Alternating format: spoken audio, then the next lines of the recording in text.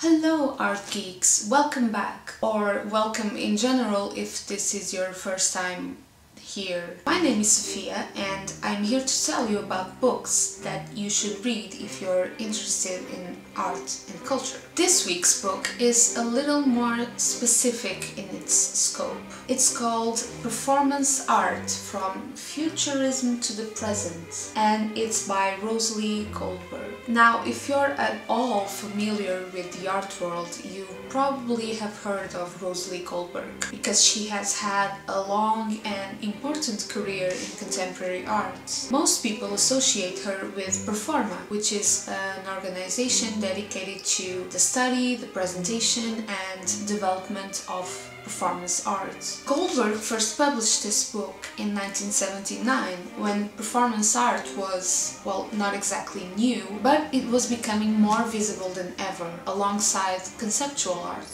So you may be asking, well, what exactly is performance art? It's a very open medium and because of that it's very hard to define, but in short, it's live art made by artists. Let me elaborate a bit on this idea by using the author's words. Performance became accepted as a medium of artistic expression in its own right in the 1970s. At that time, conceptual art, which insisted on an art of ideas over products and on an art that could not be bought and sold, was in its heyday, and performance was often a demonstration or an execution of those ideas. Performance thus became the most tangible art form of the period. Performance has been a way of appealing directly to a larger public, as well as shocking audiences into reassessing their own notions of art and its relation to culture. Conversely, public interest in the medium, especially in the 1980s, stems from an apparent desire of that public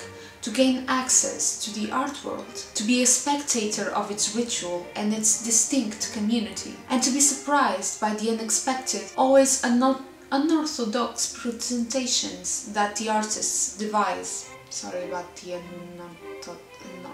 unorthodox? Yeah, I need to practice my English. Performance art is one of the wackiest parts of the art world. It produced the kind of artworks that either delight people or that people resort to when they want to illustrate the fact that modern art sucks. Let me give you a few well-known examples. You have Marina Abramović, who explores the limits of her own body by, for example, in 1974's Rhythm 2, sitting in front of an audience and taking pills prescribed for catatonia, which gave her convulsions, and once the effects had worn off, taking a pill designed to calm down aggression, which caused her to black out. That same year, she did Rhythm Zero, in which she invited the audience to use a myriad of objects on her in any way they wanted. The performance got more and more violent until it had to be stopped when an audience member aimed the gun at her head.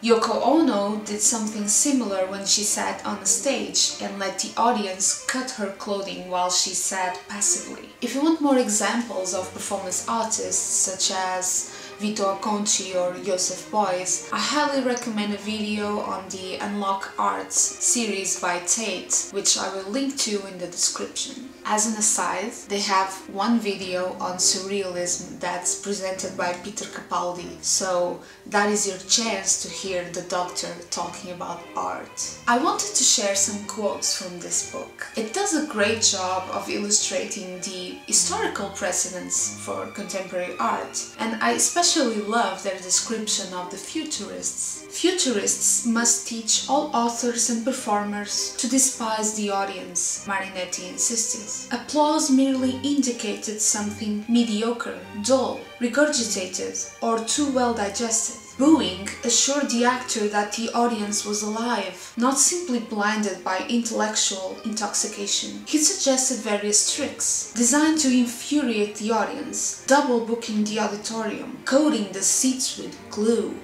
and he encouraged his friends to do whatever came to mind on stage. The book goes on to touch on the works of constructivists, Dada and the Surrealists. I find that it becomes more interesting as we come closer to the present, so I will just jump to the 1960s and 1970s. The art object came to be considered entirely superfluous within this aesthetic, and the notion of conceptual art was formulated as an art of which the material is concepts. This regard for the art object was linked to its being seen as a mere pawn in the art market. If the function of the art object was to be an economic one, the argument went, then conceptual work could have no such use. Although economic necessities made this a short-lived dream, performance in this context became an extension of such an idea. Although visible, it was intangible, it left no traces and it could not be bought and sold. Finally, performance was seen as reducing the element of alienation between performer and viewer, something that fitted well